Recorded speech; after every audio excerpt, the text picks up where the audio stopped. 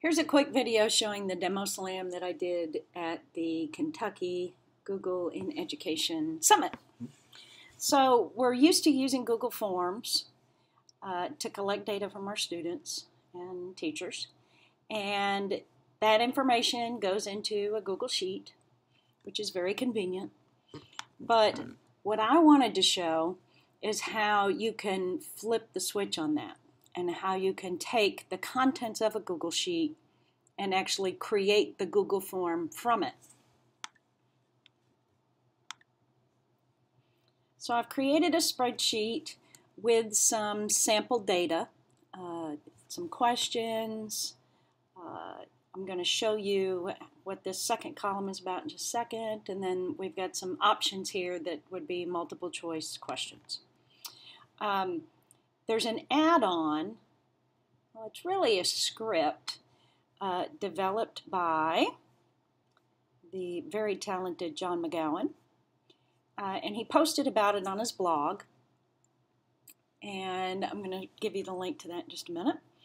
But um, he took some of the stuff that he's put together in creating GMath, which is an add-on also uh, for Google Sheets, uh, pulled out some of that code and he uses it uh, to create this uh, spreadsheet. And what it allows you to do after you uh, make a copy of it is to come in and create a quiz. You select the information that you uh, want your form to be created from. Click the preview button give your form a name. Click Create Form. And so right now the script is going through the spreadsheet, grabbing, and before I can even finish talking, it has made the Google form with those questions. And so I can come here right now, I can click Edit Form. And here is that form from that spreadsheet, all the questions, the correct answers. You can come in here and you can tweak it. So you could come in and make the different questions required. You could um, use any of the advanced settings, uh, make any modifications you wanted to, come in here and put some uh, instructions. Um, you can see, here's the form. It was all created in just those few minutes. So if you've got a spreadsheet that is a CSV export from a test bank that you have access to use, you can actually bring that information into Google Sheets. And so once you gather the information in the form, you can apply things like Flubaroo, uh, Autocrat, formMule. You can do a variety of different things with it I wanted to show you one more thing while I've got this up, uh, an add-on that uh, I was shown today uh, at the summit, uh, which is one of my takeaways, is the QR code generator.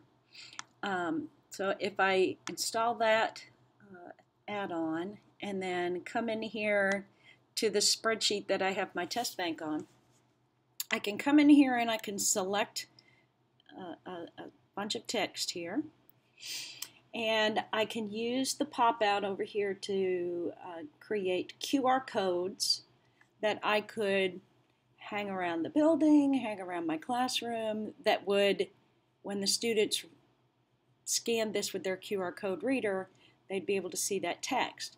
Now there, used, there, there's a, there are various ways that you can uh, make these QR codes, but this one is, is absolutely the, the most simple to use that I have found. Um, you can come in here and adjust any of these settings. You can go for a really large one, really small one. I'm just going to leave this here. Uh, I'll tell you what, I'm going to leave the value. Click generate. And so it's reading the spreadsheet, it's calculating the information that's in those cells, and it's making a QR code for each one of those cells that I've selected. And because I uh, requested that it make it a document, And now this is in my Google Drive. Uh, so it's got the borders because I placed that check mark. It's got the QR code. It has the translation of the QR code, which you could cut off or you could leave off completely.